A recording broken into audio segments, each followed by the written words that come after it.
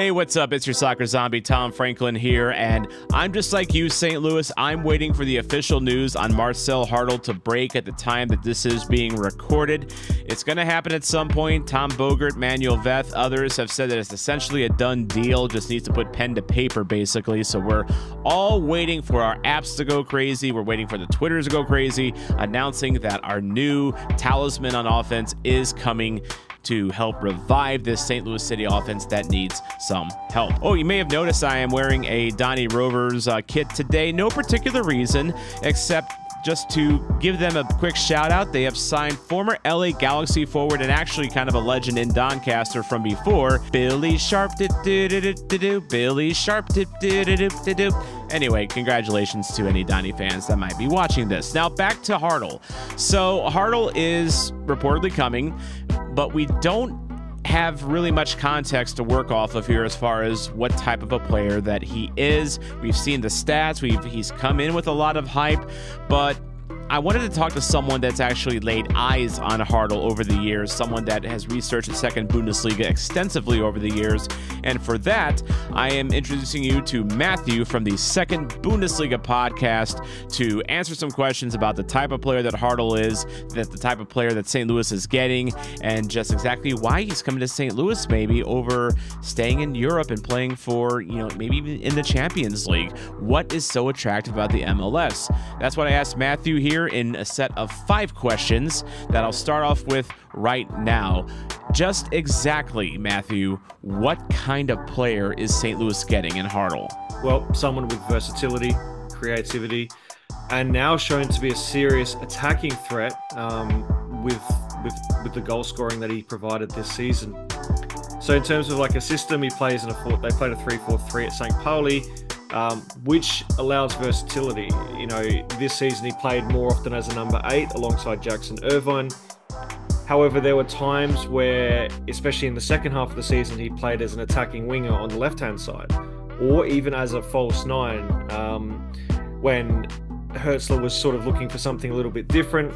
They tried uh, Johannes Eggestein as the number nine, um, but they also added um, Aljoscha Kemlein from Union Berlin and that allowed Hartel to, to play a little bit further up the pitch. Um, he can play in so many different systems and, and, and formations um, and positions. He's typically, I would say, best as in either an 8 or a 10. That's where you can get the most out of his performance. Um, but he's shown that he can play a multitude of different positions and play them very well. Um, he's excellent from set pieces, um, especially corner kicks. He was he was he was very dangerous um, over the over his time in Bundesliga too, and with uh, whether that's been with Union or Union Berlin or Arminia Bielefeld, um, and of course St. Pauli. So yeah, it, it's kind of interesting that um, prior to this season he never scored double digits. I think his highest score total was either was you know, was less than ten, and um, he's shown, yeah, he, he, absolutely burst on the scene um, with the goal scoring output, and it was mostly impressive. Now, again, we haven't seen much of Hartel ourselves, so what? What's a good player comparison for the type of player that Hartel is? We've heard Hany Mukhtar mentioned. We've heard even like a poor man's Christian Eriksen. But who, in your eyes, would you say Hartel compares to, Matt? This is quite difficult because I can I can tell you who, who he compares to in, in Bundesliga too. Um, more than anything. Uh, but for me, Laszlo Benes is probably the best comparison you can get, or Jack Clarke from Sunderland. It, he's just such a versatile player, can play in so many different positions, as mentioned before. Very strong in the midfield, but you want him to be as an attacker. He, he, I think that's where he excels. He's not much of a defensive eight if you're playing in that sort of uh, 3 4 3 system that uh, Fabian Hürzeler implemented at St. Pauli. But for me, um, you, you, want him to be in a position where he can showcase his offensive threat because that's where he's at his best when he's got the ball. He's either driving at um, the defense, dead ball situations. He's also extremely strong at, and um, yeah, now he can score goals, which is um, probably the, the, the, the, most complete form of Marcel Hartel that we've seen, um, which was what we saw uh, last season. So I, I would say I would say Laszlo Benes is probably the closest from what I saw this season. and in a general sense, just his development over the course of uh, the 18 months under Fabian Hürzeler has allowed him to become more of that goal scoring threat than he otherwise would have been previously. Now, we've seen the stats 17 goals, 12 assists this past season, but just how instrumental was Hartel to St. Pauli's promotion? Like, did the offense like run through him? Uh, he was extremely instrumental in their promotion, led the team in goals and assists with 17 and uh, goals and 12 assists. So 29 score involvements, which was one of the best in the league. Um, how you know did the offense run through him? I would say they were. It's a yes and no. Like obviously the numbers back up that yes, um, he had a massive contribution to what they did on the offensive end. Um, was it effective? Absolutely. and again, the numbers do back that up. But I would say that they they had such a fluid system under Hürzeler. There were more than just Hartel. You know, guys like um, Dapo Afolayan, for example, Manolis Saliakas. In fact, 60% of crosses came from that particular wing on the right hand side. Excuse me. So, you know, if you're if you're looking at sort of was Hartel the sole reason why? No, I would say not. Um, but he just got the he he got the rewards for his work rate and, and being in the right positions and and being able to create so much. I mean, you know, to put in perspective, the 17 goals this season, um, that was fourth best in the division. He was the best amongst midfielders by quite a significant number. Um, but, you know, he's only five goals behind the top scorers in the league, which were Haris Tabakovic of Hertha, Christos Tzolis from, from Fortuna Dusseldorf, and, and Robert Glatzel from Hamburger SV. Um, so, in that perspective, you can you can say that um, you know it was effective to run through Hartel, and, and is often the focal point for them um, in an attacking sense. But it wasn't just him, it was very much a team oriented effort. So he did have a major role in their promotion, but there certainly were more outlets than just Marcel Hartel. So, what worked for Hartel in St. Pauli that didn't work in Arminia Bielefeld, Union Berlin, and FC Köln, his previous stops before then? He was pretty unremarkable up until this past season. What clicked? I would say system had a big part. You know, we saw the turnaround statistically with his play moving more as a number eight uh, in the Hürzeler system. Um, that certainly worked. It, it, worked to his strengths. It allowed him to be a bit more free flowing, a bit more creative.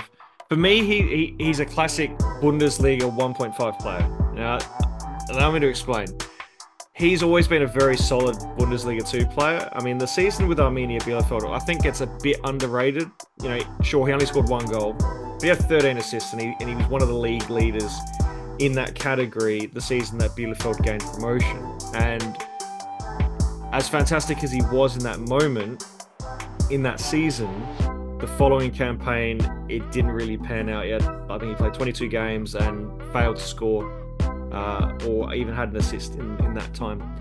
And the following season, it was, became clear that whether it was Frank Kramer or Uwe Neuhaus, there wasn't really a place for Hartel in the Bundesliga aspects of Arminia Bielefeld. So that's why the move to St. Pauli happened. But this is the third team he's gained promotion with, and it's pretty clear that he is an exceptional Bundesliga 2 player at 28. now, unfortunately for him, he is in that category of he's probably too good for Bundesliga 2, but has shown very little return at, at top at the top flight. You know, Simon Terodde is another player. Like Simon Terodde is the all-time leading goal scorer in Bundesliga 2, but very rarely did he feature heavily in the goal scoring charts in his time in the Bundesliga, whether it be Stuttgart or Schalke or Köln. You know, it, it, it had been a struggle for him, but he'll go down as one of the all-time greats in Bundesliga 2, but less remembered for his time in the Bundesliga. And you, you could say the same with with Hartel, where he didn't really get a chance at Union in the Bundesliga to an extent, and now you you kind of see why St. Pauli perhaps maybe decided to let his contract run out um, at the end of the season. Um, but you know, clearly he's an exceptional player, and you put him with the right personnel, and you allow him to, to sort of play his role of football, you'll find that he's gonna he's gonna fit quite well. Um, so yeah, I, I I think I think at times it's a little bit unfair because like his time at Union, he was he was quite young, he was still developing. You know, he was pretty fresh from Cologne and um, really excelled in Bielefeld. Um, but ultimately, I think St. Pauli and especially Fabian Hürzeler being such such a, a pretty very intelligent footballing mind was able to get even more out of him, and, and we finally got to see the goal scoring um, unlocked. Essentially, we there, there was sort of like a, a joke in many ways that you know he he almost had like a bad luck charm in front of goal because he knew how to get to so many great positions, but you know more often than not you would you would be like oh well he probably won't score from here, but he has shown you know the clinicalness that. Um, and I, I guess that comes with the confidence as well, to, to be a bit more aggressive in the final third and uh, not always have to look for the ball, but if the, the shot's open, have a dip. And yeah, I mean, he he's done so many good things for St. Pauli over the last three seasons. And I would say it's kind of a shame that he is departing, just because you would love to have seen him at St. Pauli in the Bundesliga. But I suppose, you know, like many things, these, you know, sometimes relationships don't last and and ultimately he probably felt he wanted a new challenge, and and um, yeah, I guess Major League Soccer was was the challenge he was looking for. So um, yeah, I mean, it, it's going to be really fun, hopefully, for MLS fans and, and, and obviously St. Louis fans if um, if he does end up playing there, and, and hopefully he will get to play the kind of role that has allowed him to excel um, throughout his time at St. Pauli. And finally, the big question here that I think a lot of us are wondering what would possibly attract Hartel to come to the United States and play in the MLS versus playing in the Champions League for that rumored French club or Turkey or even staying in Germany? That's a, you know that's a really interesting question because obviously MLS continues to grow. Uh, there's more expansion coming, and uh, as someone who perhaps would like to see pro relegation um, involved in MLS, I think that would be just to just to bring that jeopardy in. But then again, does it make the league less attractive? I'm not so sure. Really, um, perhaps it's financial. Not knowing the ins and outs of the deal, um, I would I would think financial would have to come into play, and you know to to pull someone at that age with coming off one of their best seasons career wise, I would think there would be some sort of financial pull. You know, he played with Joakim Nilsson at Arminia Bielefeld. Perhaps that's a factor as well. You know, the familiarity with him and and perhaps he sold him on on the experience of playing for St. Louis. Um, you know, looking at the, the numbers this season, attendance wise, clearly that there is a there's a strong fan base um, within St. Louis for, for, for, for football, and I, I, suppose a city that's really starved on a lot of professional fronts. You know, you've got the St. Louis Blues who were fledgling this season in the National Hockey League. Um, they don't have an American football team anymore because the Kroenkes moved them to Los Angeles. Um, I don't know how big the UFL is in, in, in St. Louis with the Battlehawks. Um, and then you've got the Cardinals uh, for, for Major League Baseball. So, I mean, you know, I guess in terms of maybe a hardcore fan base, you know, St. Louis as a football club has a bit more going for it. Um, and I guess I guess when you look at like some of the names that are playing in, in, in MLS and and those who could potentially be arriving, I suppose that you know maybe there's more interest in the league than you know playing elsewhere. I, am not entirely sure. Perhaps he, he wanted to play in the states at some stage. I I felt he would.